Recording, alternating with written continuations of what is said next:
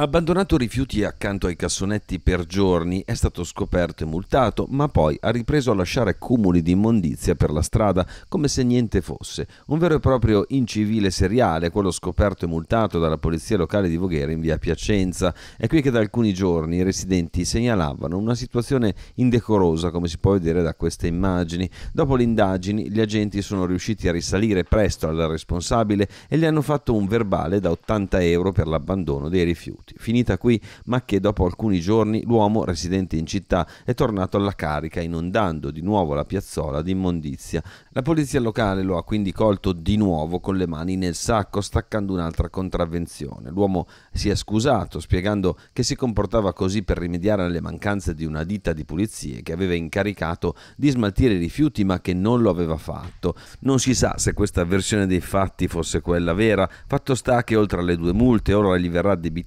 anche il costo per la rimozione dei rifiuti. Il problema dell'abbandono di materiali e immondizia è molto sentito a Voghera, tanto che in un recente incontro fra la polizia locale e ASM è emersa l'esigenza di assumere ispettori ambientali per contrastare questo fenomeno.